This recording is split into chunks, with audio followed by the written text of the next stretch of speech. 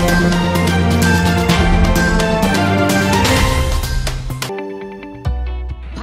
आलाकमान राजस्थान विधानसभा चुनावों में गुजरात और एमपी की तरह ही प्रयोग करना चाहती है।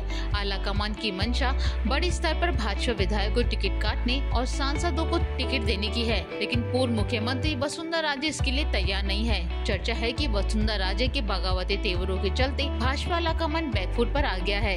यही वजह है की उम्मीदवारों की सूची फाइनल भी नहीं हो पा रही है। राज्य की बगावती तेवरों के चलते पार्टी आलाकमान गुजरात और एमपी वाले प्रयोग ऐसी फ़िलहाल झिझक रहा है। वही पीएम मोदी ने जयपुर में हुई जनसभा में वसुंधरा राजे का नाम नहीं लिया, जिसे लेकर ये कहा जा रहा है कि भाजपा आलाकमान उनको पसंद नहीं कर रहा है। लेकिन यहाँ बड़ा सवाल ये भी है कि पसंद नापसंद के चक्कर में पीएम मोदी हिमाचल और कर्नाटक की तरह राजस्थान भी न गंवा दे, क्योंकि हाल ही के सर्वे में कांग्रेस ने दो महीने के भीतर ज़बरदस्त वापसी भी की है। राजनीतिक विशेषज्ञों का कहना है कि भाजपा के सामने हिमाचल प्रदेश और कर्नाटक विधानसभा चुनाव के नतीजे हैं। दोनों राज्यों में भाजपा ने नए प्रयोग किए हैं, लेकिन वो सफल नहीं हुए। ऐसे में भाजपा आलाकमान चाहकर भी वसुंधरा राजे की अनदेखी नहीं कर सकता।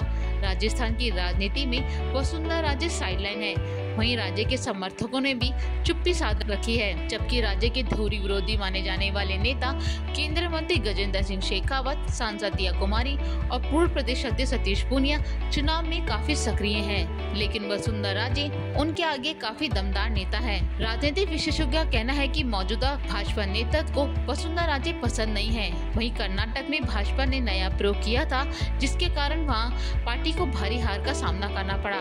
बी एस येडियुरप्पा को जैसे असरदार नेता को सीएम पद से हटा दिया गया। सियासी जानकारों का कहना है कि राजस्थान में स्थिति अलग है।